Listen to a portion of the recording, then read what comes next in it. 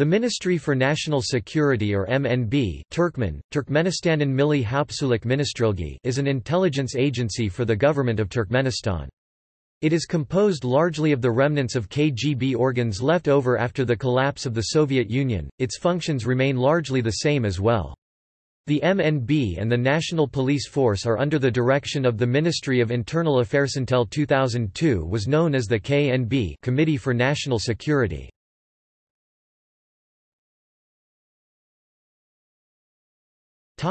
List of Ministers of National Security.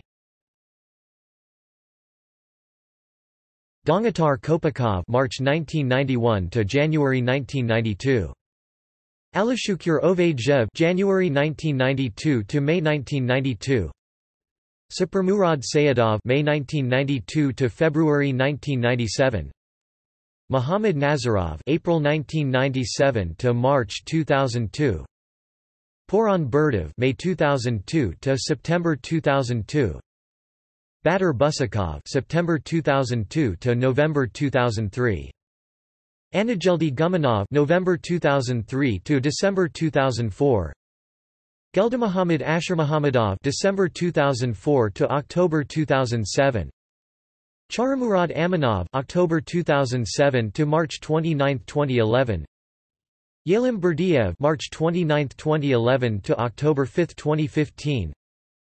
Gaichgadi Kojaberdiev October 5, 2015 to March 1, 2016. Govringeldi Bayramov March 1, 2016 to June 14, 2018.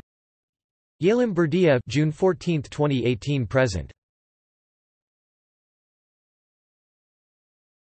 Topic: Human rights concerns.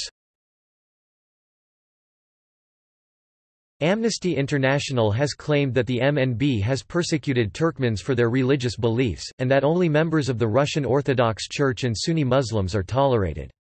Human Rights Watch has asserted that the KNB has repeatedly imprisoned and harassed political opponents.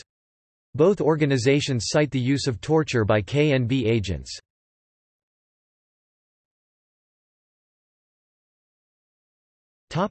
See also Human rights in Turkmenistan Intelligence information gathering KGB List of intelligence agencies